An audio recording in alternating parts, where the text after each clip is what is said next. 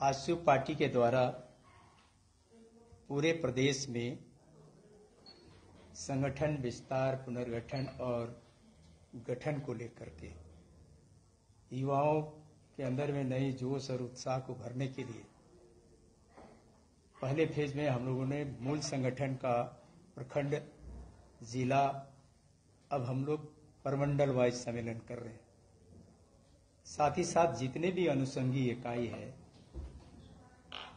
महिला अखिल झारखंड महिला संघ, अखिल झारखंड अधिवक्ता संघ, अखिल झारखंड श्रमिक संघ, मैंने सभी अनुसंगी इकाई का भी अलग अलग डेट पे प्रदेश स्तरीय सम्मेलन, जिला स्तरीय सम्मेलन और प्रखंड स्तरीय सम्मेलन करने का डेट निर्धारित है।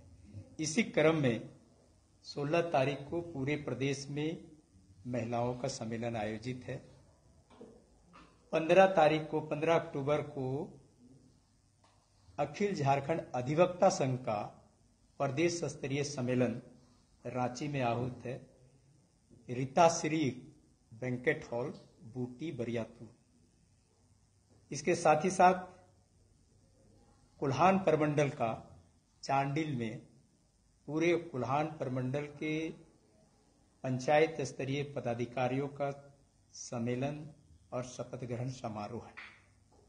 पार्टी पूरे राज्य के ज्वलंत मुद्दों को लेकर कार्यकर्ताओं को प्रशिक्षित और सशक्त करने की दिशा में काम कर रही है।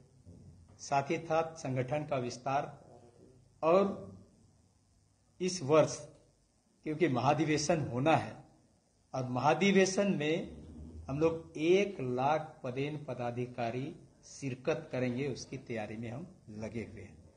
और उसी क्रम में सभी संगठन का विस्तार और पुनर्गठन किया जा रहा है। अभी राज्य में, राज्य सरकार के द्वारा अपने प्रचार प्रसार के लिए कहें, आपकी सरकार, आपके द्वार कार्यक्रम चल रहा है।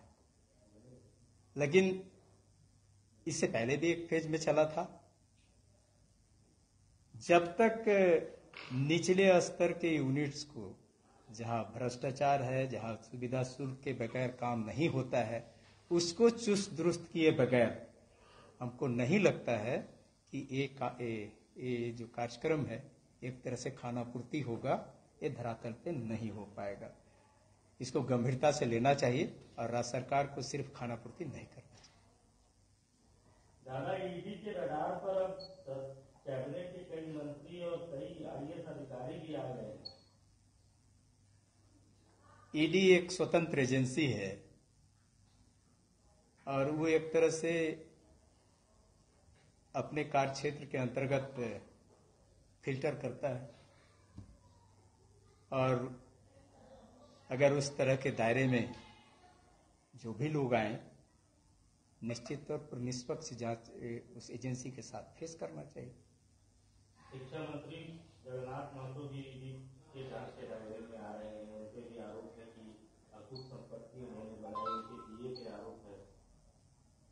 हमने पहले ही कहा कि कानून सबके लिए है।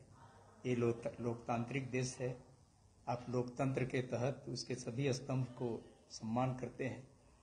और किसी को भी इजाज़त नहीं है कि वो गैरकानूनी ढंग से काम करे। अपने राज्य से जुड़ी हर ताज़ा खबरों के लिए आप हमें सब्सक्राइब करें, साथ ही बेल आइकन बटन दबाना ना भूलें।